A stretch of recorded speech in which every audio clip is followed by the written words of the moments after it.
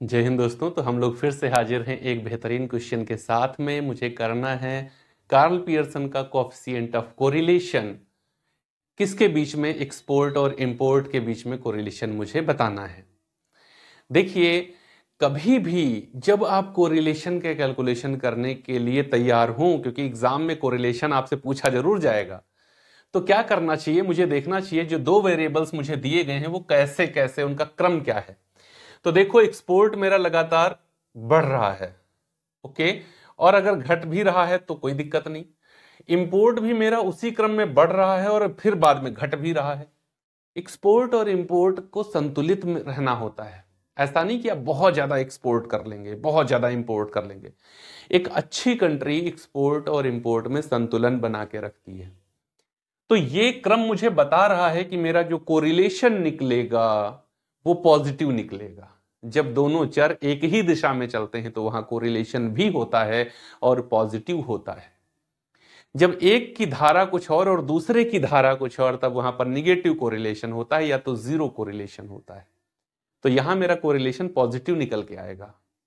क्या निकल के आएगा? हम लोग साथ में मिलकर के सॉल्व करेंगे इसको।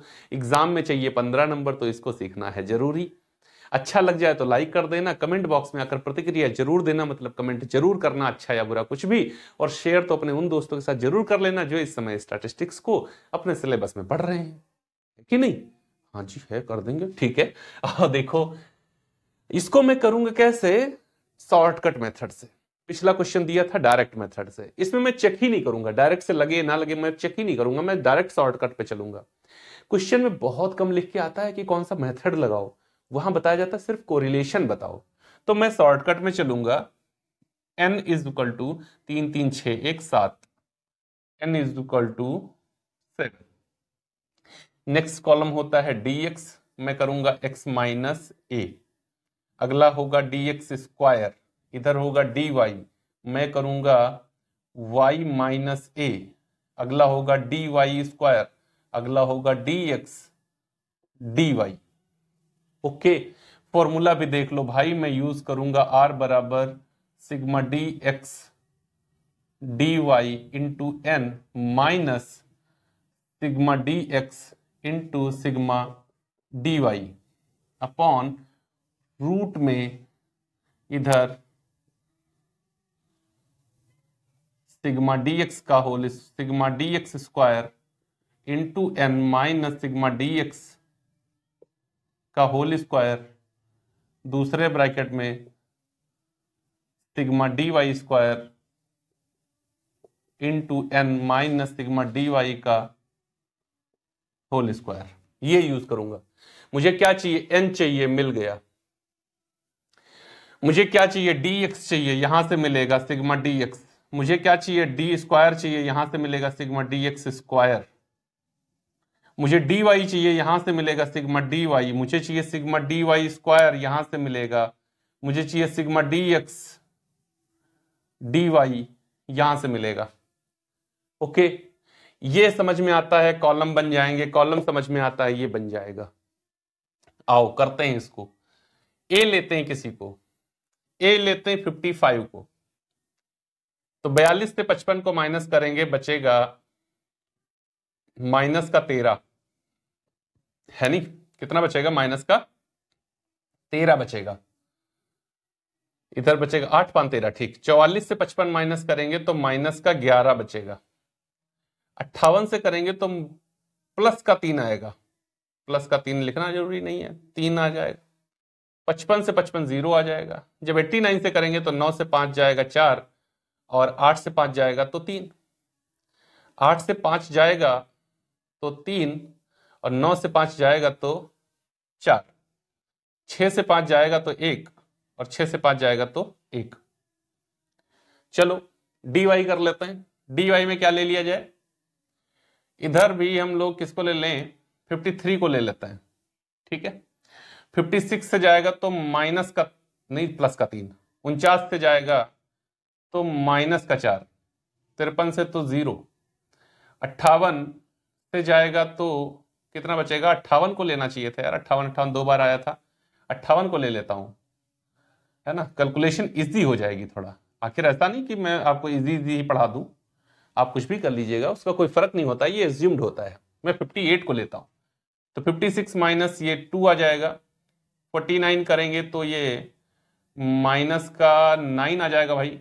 53 से करेंगे तो माइनस का तेरह, पाँच। माइनस का पाँच, इधर ज़ीरो, पैंसठ से करेंगे तो पाँच और दो सात, छिहत्तर से करेंगे तो सोलह से आठ जाएगा आठ, और इधर अट्ठारह, अट्ठावन से करेंगे तो ज़ीरो। चलो, सिग्मा डी एक्स का टोटल करो। तो देखो, तीन, चार, तीन, सात, तीन, दस, एक, ग्यारह, चार, तीन सात सात, तीन, सात, एक, आठ आठ और एक, नौ इक्यानबे है प्लस का, और माइनस का है तीन, एक, चार, और एक एक, दो। तो ग्यारह से चार जाएगा तो बचेगा सात, और इधर आठ से दो जाएगा तो बचेगा छ ये आ जाएगा सिक्सटी सेवन फिर से एक बार देख लू भाई, तीन एक चार चार आठ आठ और तीन, ग्यारह, चार तीन सात एक आठ एक नौ, ठीक है। इधर आओ तो अट्ठारह सात पच्चीस है प्लस का प्लस का कितना है पच्चीस, माइनस का कितना है नौ, दो ग्यारह पाँच, सोलह तो पंद्रह से छह जाएगा नौ, बस नौ ही आएगा, प्लस का नौ। अब मुझे क्या करना है? मुझे चाहिए sigma D X D Y इसको पहले कर लेंगे, ये कॉलम हम बाद में करते हैं। हम बाद में करते हैं, आप चाहे जैसे कर लें। मेरा क्या मानना होता है कि अगर मैंने इन सारे कॉलम्स को भर दिया तो यहाँ का मल्टीप्लाई देते समय कहीं ऐसा ना हो, इसकी जगह मैं ये वाली वैल्यू उठा लू। इसलिए इसको सबसे पहले कर लेना चाहिए। मुझे लगता है, आपको लगता हो तो कर लेना, नहीं लगता कोई बात नहीं, चलो। देखो भाई तो तेरह दूना छब्बीस और हो जाएगा प्लस का, माइनस माइनस। ग्यारह निन्यानबे, वो भी हो जाएगा प्लस का। पाँच तिया पंद्रह और ये हो जाएगा माइनस का। ये ज़ीरो हो जाएगा।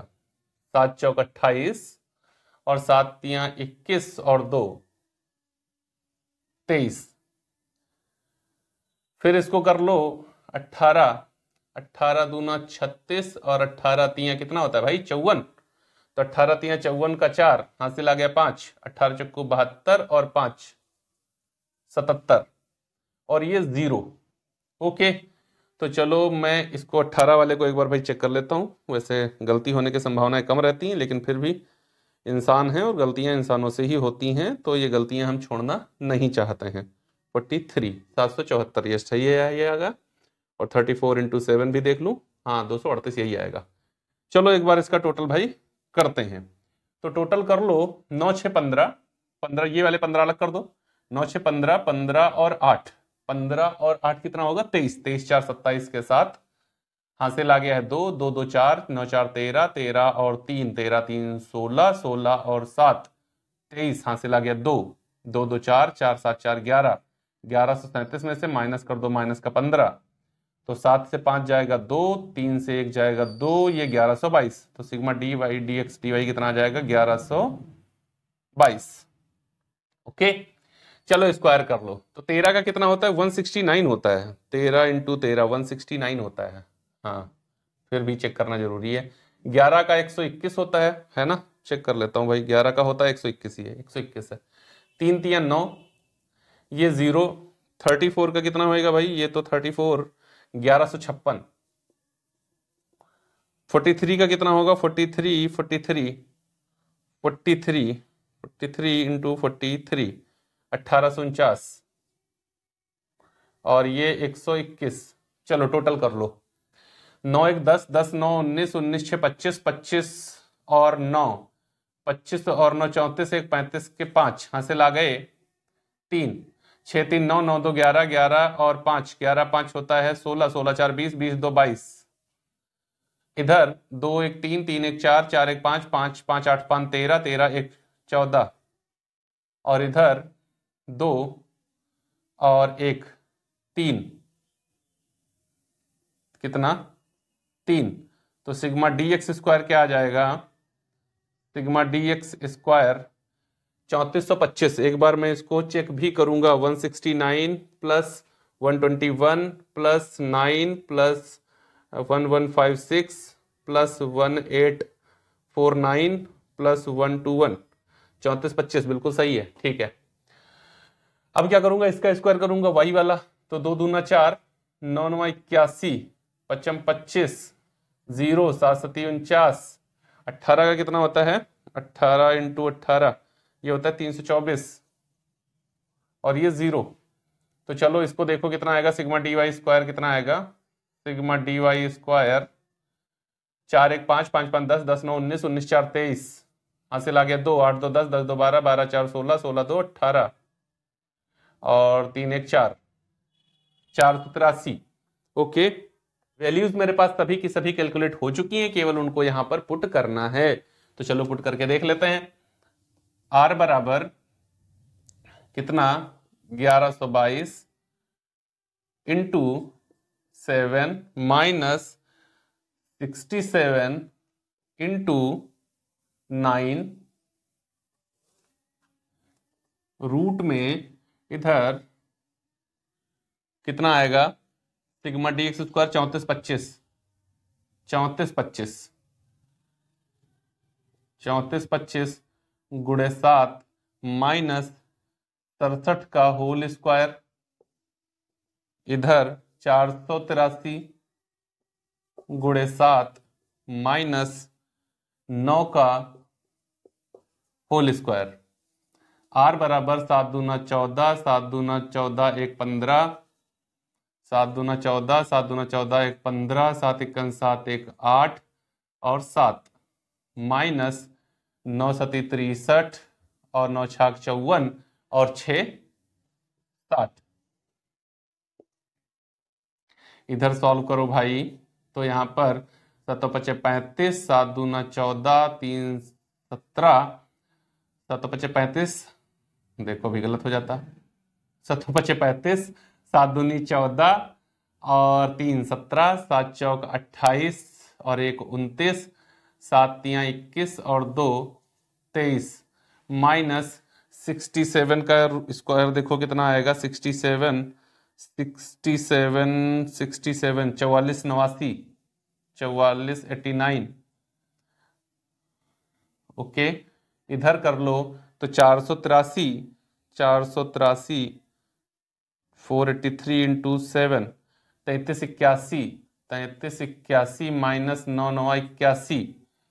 तो आर बराबर, इधर सॉल्व कर लो इसको, सात हज़ार आठ सौ चौवन माइनस छ सौ तीन, ये बहत्तर, इक्यावन, इसको सॉल्व करो कितना आएगा?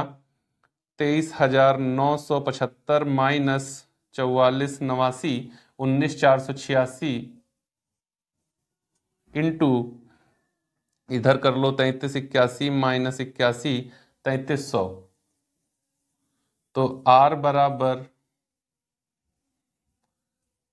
बहत्तर इक्यावन मतलब सात हज़ार दो सौ इक्यावन, और इधर इनका मल्टीप्लाई दे दो तो ये क्या आ जाएगा? उन्नीस चार सौ छियासी, चौंसठ लाख तीस हज़ार, नहीं छः करोड़ तैतालीस लाख तीन हज़ार आठ सौ, चौंसठ तीस अड़तीस, चौंसठ तीस अड़तीस, और उसके बाद भी दो ज़ीरो। तो आर बराबर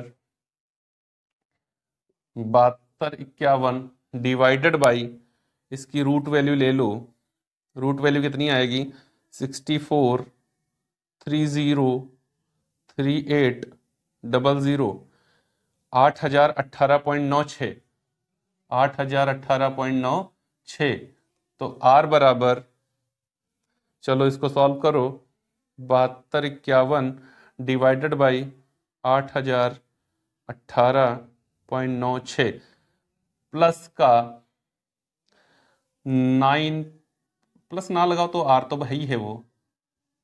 R is equal to point nine zero four two इसको मैं पहले आंसर चेक करता हूँ चल के। इसका आंसर कितना आ रहा है? मेरा आंसर इसका दिया गया है। हाँ एग्जैक्ट यही आंसर आ रहा है मेरा। प्लस में nine point point nine zero four two. इसका मतलब है यहाँ पर क्या है? Positive, high and high and, very high degree correlation between export and import. Export और इंपोर्ट के बीच में क्या होता है? High and very high degree correlation होता है एक्सपोर्ट और इंपोर्ट के बीच में। पूरी फुल कैलकुलेशन आपको समझ में आ गई होगी, उम्मीद करता हूँ। अगर वाकई आपको यह समझ में आ गया हो भाई तो लाइक ज़रूर करिएगा और कमेंट बॉक्स में आकर के अपनी प्रतिक्रिया ज़रूर दीजिएगा। चैनल को सब्सक्राइब कर लो, ताकि आने वाले वीडियोस का नोटिफिकेशन आपको फटाफट बिना किसी विलंब के मिल जाए। अगर आपको स्टैंडर्ड डिवेशन के माध्यम से यही क्वेश्चन सॉल्व करना हो तो स्टैंडर्ड डिविएशन में बहुत ही आसानी से आप कर सकते हैं। कैसे? आप एस डी एक्स ले लो एस डी वाई ले लो, और उसके बाद में आपको सब कुछ पूरी कैलकुलेशन अलग से नहीं करनी पड़ेगी। इसी कैलकुलेशन को आधार बनाकर आप क्वेश्चन को सॉल्व कर सकते हैं। जैसे मान लो आपको एस डी एक्स निकालना है तो एस के लिए क्या करोगे? वन अपॉन एन, इधर sigma D X square into N minus sigma D X का होल स्क्वायर। और एस डी वाई के लिए आप क्या करोगे? One upon N sigma D Y square into N minus sigma D X D Y का whole square. तो देखो, सभी वैल्यू तो मिल रही सिग्मा डी एक्स स्क्वायर, ये देखो। एन ये देखो। सिग्मा डी एक्स ये देखो। पूरा सॉल्व हो जाएगा। ओके? बात समझ में आ रही है ना? क्लियर है? आ रही है? हाँ जी सर, आ रही है। ठीक? और इधर वाई के लिए यही कर लो। आराम से क्वेश्चन को, जब डी एक्स डी वाई आ जाए तो आप आर के लिए फॉर्मूला क्या लगा लोगे? Sigma D X D Y ये देखो upon N S D X और एस डी वाई ऐसे करके आप देख लो सेम आंसर आ जाएगा स्टैंडर्ड डिविएशन के माध्यम से। तो अगर वीडियो अच्छा लगा हो तो लाइक ज़रूर करिएगा। मिलेंगे अगले वीडियो में एक और बेहतरीन क्वेश्चन के साथ। तब तक के लिए जय हिंद